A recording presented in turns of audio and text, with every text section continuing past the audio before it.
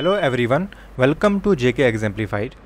prelims हो चुका है and we have launched our daily answer writing programme कल उसका डे फ़र्स्ट था and we have dealt with polity and today we will be dealing with the question from history and one current affair as we have already given in the schedule जो भी हमारे question होंगे, वो एक static portion से होगा. That will be from the portion let it be gs1 gs2 or gs3 okay and a one question will be from the current dimensions okay usse kya hoga it will help you break the monotony of the exam for example uh, you will be reading about the current affair every day to prepare for the mains exam तो हमने इस तरह से launch किया है ताकि आपका जो बेसिक पोर्शन है वो भी कवर होता जाए और आपकी जो कंटेंट है करंट अफेयर की वो भी कवर होती जाए so in our day two we have given around two questions and first question was simply basic on the subsidiary alliance of British India and second is on the gendered labor pattern okay okay? So so ये थोड़ा सा tricky question है तो चलिए पहले हम इस question को देखते हैं ओके okay? सबसे पहले प्लीज़ नोट दैट जो भी क्वेश्चन पूछा गया है उसकी context is more important rather than the content because content if we see everybody is having the content if you are clearing prelims so if you are about to write the mains तो आपके पास बहुत सारी content होगी। आपने history भी पढ़ी होगी, आपने पॉलिटी भी पढ़ी होगी। Okay so why there is a difference in the score of the toppers and those who are not able to make the final list is because of this contextual understanding. Okay so सबसे पहले question की context जाना बहुत important है। पहले अगर आप इस क्वेश्चन को पढ़ के देखें so it is gendered labour patterns in rural India have been changing in response to urbanisation and structural transformation discuss okay सबसे पहले keyword is more important keyword से ही आपके क्वेश्चन की स्ट्रक्चरिंग शुरू हो जाएगी। ओके लेट से यहाँ पे अगर डिस्कस की जगह हाईलाइट होगा okay so in highlight you only need to write those the main uh, main areas for example it is leading to gender discrimination for example it is overburdening the women population okay these two three point will be the highlights all right but when it come to the discuss it means you have to give the logical argument अब ये question आता है कि ये logical argument होती क्या है logical argument वो होती है which has both side okay? For example let's say in favor and second is contrary to the main point and then a balanced end.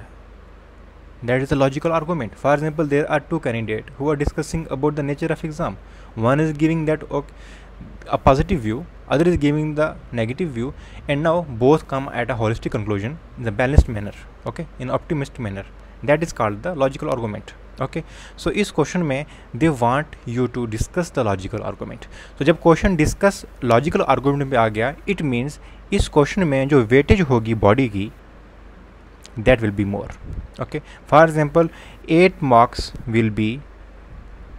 dedicated directly to this body marks so it's a fifteen mark question so we can increase it to up to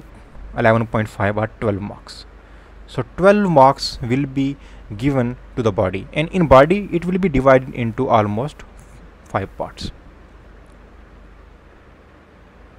five so five logical arguments are required to answer the question in a balanced manner अगर आप introduction भी लिख रहे हैं okay and then body भी लिख रहे हैं and again you are writing conclusion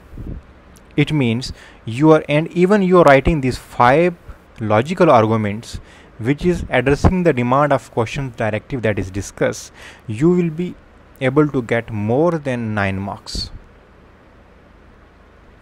okay so this is the method behind marking this is the method behind structuring of a particular question अगर आपको क्वेश्चन पढ़ने से पहले ये चीज़ें आपको दिमाग में रखनी है कि this should be your optimum standard to write a balanced answer okay तो चलिए हम पहले देखते हैं कि ये इस क्वेश्चन की मतलब इस क्वेश्चन को हम किस तरह से लिख सकते हैं। तो पहले क्वेश्चन पूछा गया है gendered labour patterns in rural area have been changing in response to urbanisation and structural transformation so first key word here is gendered labour pattern it means it is talking about genders so the due to patriarchy mindset there is a male dominant factor and there's a female. Okay. However as per recent supreme court judgment there is again transgender. Okay etc but their contribution to the economy is minimal so that's why we will be not be considering those. Okay. So first is gendered labor pattern. And second the point is urbanization and structural transformation so so, आपने gender labour pattern को urbanisation और structural transformation के context में लिखना है। तो कैसे start करेंगे? स्टार्ट करने का तरीका कोई भी हो सकता है। Introduction can be of multiple type first you can give a simple overview simple overview of rural India कि वहाँ पे किस तरह का स्ट्रक्चर है इकानमी का। Let's say it is dominate by agriculture okay? And due to increased urbanization the male population of that particular area is moving towards cities and leaving behind the women and it is the structural transformation which is happening in the rural india. This is one kind of introduction. Second introduction can be let's try to give some kind of data. For example periodic labor force survey 2019-20 को जो भी आया था तो उसने ये कहा है कि जो फीमेल की लेबर पार्टिसिपेशन रेट है that has increase it is around forty two percent what does that what does it signifies it not only signifies कि उनकी लेबर कंट्रीब्यूशन इंक्रीज हुई है but those womens who were out of the economy now they are better participating okay so this is a structural transformation okay due to urbanisation this can be the second second most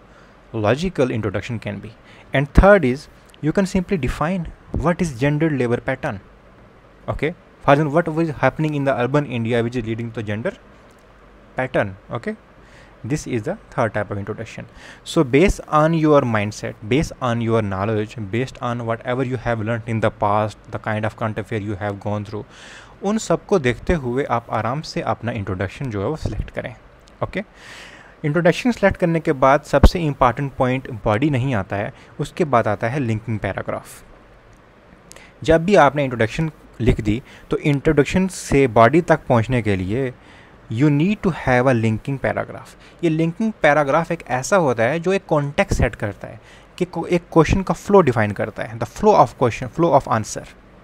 जो answer का flow है that is defined through this linking paragraph it give a continuity to the answer for example if you are writing a story so how a person is more inclined to a particular story is because of the flow okay so उस flow को maintain रखने के लिए you need to focus on this linking paragraph तो यहाँ पे linking paragraph कहाँ पे आ सकता है फॉर एग्जांपल हमने बात की यहाँ पे अर्बनाइजेशन की और स्ट्रक्चर ट्रांसफॉर्मेशन की जो those were the actually sub points which are which are affecting the gendered labor pattern so we can talk about here what were the changing urbanized or structural transformation which is happening for example in urbanization there is population migration okay first second structural transformation structural transformation क्या हो रही है structural transformation can be in the form of सबसे main important है let's say digital age okay so now the work is more mobile okay there's a rise of gig economy okay so now you can better invest in the areas for example there is education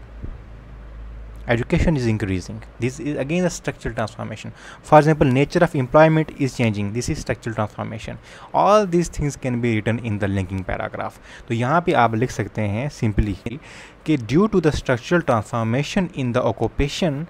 of this new age there has been a significant effect on this on the gendered labor pattern okay okay? तो ये लिखते हुए आप body पे पहुँच सकते हैं ठीक है so next is body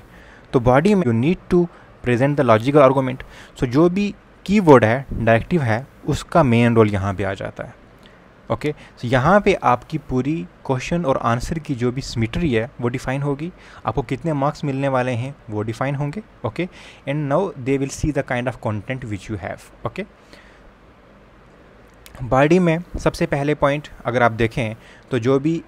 gender labour pattern हो रहे हैं overall it is just feminisation of agriculture okay so now this old migration this old migration of male member of the household okay so uske karan kya ho raha hai now the females are left behind and now they have to work in the agriculture field because they have to take care of the rural household so this is the one of the main factor which is affecting the gender level pattern okay and second due to this feminization of agriculture now there is double economy. Okay? So the double and care economy. We all know that the domestic work is mostly done by women.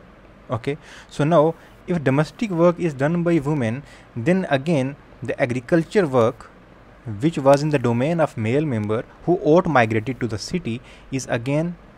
in need to be done by the female member so it's a double burden and care economy we all are aware of that care economy is nothing but there are two strata first is children and second is elderly people so आप देख सकते हैं उन्हें पहले domestic household का भी काम ध्यान रखना है that is the work in the domestic area cooking, cleaning, etc. Second, they have to go to the agriculture. Okay okay, वहाँ पे खेती बाड़ी भी कर रही हैं और खेती बाड़ी करने के बाद they again have to take care of the children and the elderly people so it means this is giving a significant transformation to the gendered patterns okay so जो चीज़ पहले एक हाउस होल्ड में मेल और female divided कर रहे थे. Now the entire burden is on the women okay and another feature of this that कि अगर ये करने के बाद उनके पास उतने स्किल्स भी नहीं है they don't possess necessary skills technology technical knowledge about the particular field for example let say there is a mechanisation of labour mechanisation of labour so उस मैकेनाइजेशन ऑफ़ लेबर को ऑपरेट करने के लिए they don't possess such kind of technical skills और right they don't have the this capability to access credit from the formal banks so ultimately they go to the money lenders okay and which is itself we are aware of the harassment with the women face so these were the negative aspect which are are due to this structural transformation in the rural India but ऐसा नहीं है। अगर discuss आ गया है then you again need to provide some kind of balance argument because of this out migration जो decision making है पूरे हाउस होल्ड की that is to be done by the women also so जो एक women who was not having the any control over the body over the economy over the work employment so suddenly उसको इस migration की वजह से they है they were given the chance to assert their self okay so they can go and work in the field they can produce as much they want they can better manage the household okay better maintenance of the credit education of children students etc और इसके साथ साथ उनका जो public interface है वो भी increase हो रहा है फॉर एग्ज़ाम्पल मनी लेंडिंग और any other areas let's say they are going to access a scheme एक स्कीम है let's say startup India or stand up india stand up is particularly for the women so our self-help group so let's say they want to go and uh, get the credit access from this scheme public interface unka increase ho raha hai and with this public interface now they are becoming more confident the women are becoming more confident and more uh, versatile in the thinking एक case study है case study is from the Tanzania and Senegal वहाँ पे ये show हुआ है कि जो womens हैं they usually try to try to stay in the village only because of the existing social ties यहाँ पे क्या हो रहा है कि जो वुमेन हैं, वो डेलीबरेटरी रूरल इंडिया में ही रूरल जो कंट्री साइड है, वहाँ पे रहना चाहती हैं। इसलिए रहना चाहती हैं, क्योंकि वहाँ पे उनके सोशल टाइज हैं। So let's say if they will migrate to a new place तो वहाँ पे ये सोशल टाइज डिवेल्प करने में it will take time but in this existing area well the male is migrated outward in this particular area they can simply go for use the social ties and better manage the business okay so this is another positive side of gender labour pattern in India okay so इसके बाद आप जो penultimate conclusion पे आ सकते हैं। Penultimate conclusion is nothing but जो ultimate is just like way forward तो गवर्नमेंट ने क्या किया? गवर्नमेंट ने बहुत सारी स्कीम्स लॉन्च की हैं। स्टैंड अप इंडिया होगी उसके बाद आ, क्या बोलते हैं उसे सेल्फ हेल्प ग्रुप हैं। क्रेडिट लिंक्स दिए गए हुए हैं। सो दैट जो भी रूरल इंडिया में जो माइग्रेशन हो रही है उसे वो प्रॉपरली अरेस्ट करके और वहाँ पे जो इकानमी है उसको कैपिटलाइज किया जाए properly and the ultimate conclusion can be given in the more rational manner for example for example we all are aware that the agriculture is less productive. Okay? But the conclusion can be it is not due to women. Okay? So women are not the responsible women are not responsible for this low productivity. Rather it is the inherent structural issues in the agriculture. For example small land holding. Okay? For example, climate change. For example, input, quality of input. So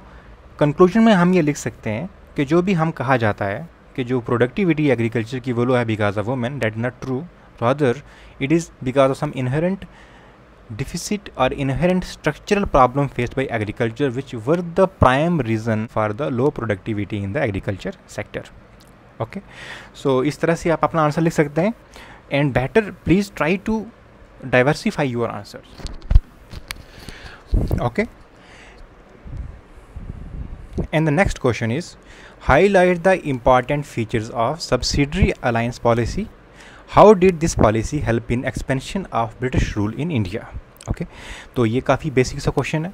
अगर आपने films की तैयारी की है, अच्छी तरह से आपको सब्सिडरी अलायंस के बारे में पूरा पता होगा। ओके सब्सिडरी अलायंस एक ऐसी अलायंस थी जो ब्रिटिश इंडिया ने after battle of Buxar start की थी। Because first exam first is British came to India this is India okay and British came to India तो वो अकेले नहीं आए थे यहाँ पे। यहाँ पे फ्रेंच भी आए थे। ओके. अगेन यहाँ पे जो मुग़ल भी थे, यहाँ पे मराठास भी थे ओके यहाँ पे निज़ाम भी था okay so Tipu Sultan okay etcetera so there were multiple so there were multiple kingdoms तो सबसे पहले उन्होंने ये फेस किया कि अगर वो कंटिन्यूस बैटल करते रहेंगे वन बाई वन साइड से it will lead to drain of resources तो इट वाज अ कंपनी तो कंपनी का जो प्राइम मोटिव होता है that is profit okay so they came up with innovative concept of subsidy alliance so what were the main important feature चलो पहले ये देखते हैं कि, पहले एक बार ओवरऑल डिस्कस कर, करते हैं कि है क्या था। इसके इंपॉर्टेंट फीचर क्या है? सब्सिडी अलायंस में ये है कि जो भी नेटिव किंगडम है वो एक ट्रीटी साइन करेगी ब्रिटिश के साथ। ट्रीटी के बेसिस के ऊपर वहाँ पे जो मेन जो उसके फॉरन अफेयर हैं, वो वो कौन कंट्रोल कर रहा है? Britishers so foreign affair of the particular territory और kingdom is controlled by Britishers okay and second foreign affair के बाद, अब जो वहाँ के, उनके, जो इंटरनल मैटर हैं उनको भी चेक किया जा रहा है। उनको भी चेक करने के लिए there is a one resident placed by the company okay जो दरबार होता है उसका, वहाँ पे एक रेजिडेंट भी पोस्ट किया गया। So you can see external affairs and internal affairs are both being checked on this treaty and third is the force जो फोर्स है ब्रिटिश ये कह रही है कि आप इसका एक्सपेंडिचर उठाएँ and we will keep the force so that it will help you protect from the other kingdoms. Let's say Hyderabad, Nizama Hyderabad. So there were frequent struggle from the Mysore and Marathas. So he came up with this kind of treaty. And after that, जो ये force यहाँ पे यहाँ पे place की गई हुई है it will help in maintaining law and order और it will help maintaining the threat faced by that Nizam from a particular from a particular kingdom okay so ये बेसिक रैशनल था किसका? सब्सिडी अलायंस का। Right तो इस question को देखते हैं। सबसे पहले क्वेश्चन में अगेन इंट्रोडक्शन तो इंट्रोडक्शन के बहुत सारे तरीके हैं लिखने के।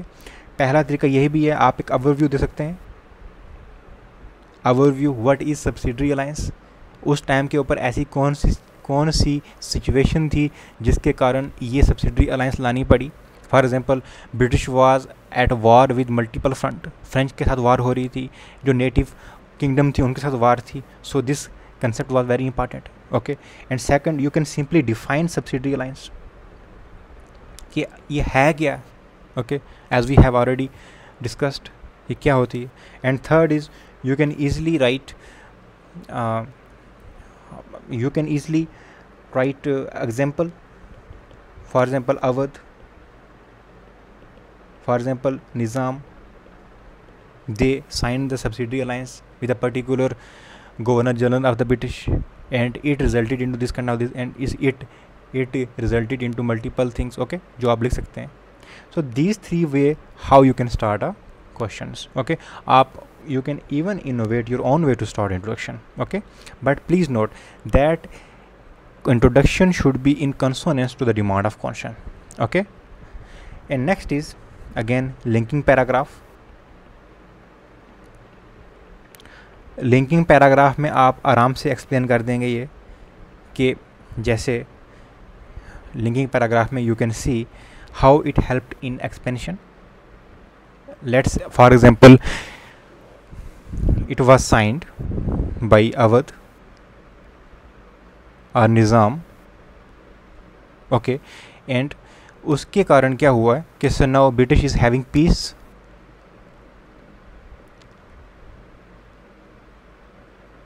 from this side so better जो एनर्जी है British can focus on the Marathas okay Mysore all right so, this is the linking paragraph. And next is body तो बॉडी में आप एक्सप्लेन करेंगे कि किस तरह से जो ब्रिटिश इंडिया है, उसने इस अलायंस को यूज़ करके अपनी पूरी एम्पायर को एक्सपेंड किया। तो बॉडी में आप सबसे पहले लिख सकते हैं कि सेग्रीगेशन ऑफ़ वेरियस पावर्स तो जो भी पावर्स थी वहाँ पे इंडियन सब कॉन्टिनेंट में उन सबको सेग्रीगेट कर दिया उसने, ताकि वो एक दूसरे से ट्रीटी ना कर पाएँ। अगर फॉरन अफेयर आप कंट्रोल कर रहे हैं तो it means you can not have any treaty with any other native ruler without the permission of Britishers तो जब ब्रिटिश की परमिशन के बिना आप कोई ट्रीटी नहीं कर सकते it means the Britisher are playing the big hand in controlling foreign affairs so वो कोई भी पॉसिबल जो फॉरन अलाइनमेंट होगी, कोई भी फॉरन अलाइंस होगी that can not be use prejudicial to the Britishers okay and second is internal affair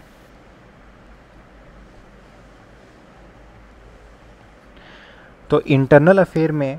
आप देख सकते हैं कि जो भी उसके दरबार में जो कौंसिल है वहाँ पे किंग की, उसके अंदर क्या हैपनिंग हो रही हैं, कौन सी चीज़ें हो रही हैं they are completely aware of it so information is the key this from this information they can take a swift action किस पर्टिकुलर किंगडम में कौन आर दे हॉस्टाइल टू और in the favour of Britisher किस तरह के हैं? It can be use and third जो forces हैं लेट से इस फोर्सेस का जो एक्सपेंस है that expense can be borne completely by particular kingdom okay so उसका जो खर्चा है, वो सारी वही जो किंगडम हैं, वो उठा रही हैं। तो it means the British can place as many as many forces as they want और वो स्ट्रेटजिक लोकेशन के ऊपर उन फोर्सेस को प्लेस कर सकते हैं। कोई भी जब वार होगी तो दे कैन मोबलाइज ईजिली और उसका जो एक्सपेंडिचर है वो भी कंपनी के ऊपर नहीं बट ऑन द किंगडम्स के ऊपर है. Okay for example kingdom of Mysore kingdom of Nizam etcetera so these were the important areas जिसकी वजह से which help in expansion of British India okay and then finally you can conclude conclusion can be balanced for example Britisher ने ये उस point के ऊपर use किया है जब वो हर तरफ़ से थ्रेट फेस कर रहे थे। This can be the one conclusion other conclusion can be के how they mobilise their economic resource very effectively okay so यही मेन फीचर्स हैं इस सेकंड क्वेश्चन के। अब स्ट्रक्चरिंग की बात करें तो आप देख सकते हैं first you can simply introduce and second, when it come to highlight तो highlight में जो फीचर्स हैं, you can simply highlight highlight can you can इम्बाई for example highlighting various features ऐसे लिख के आप एक ऐसे सकल मार सकते हैं and then you can write three four feature feature one let's say placing army at disposal of Nawab or kingdom king. Okay. Second is managing internal affair. Okay okay.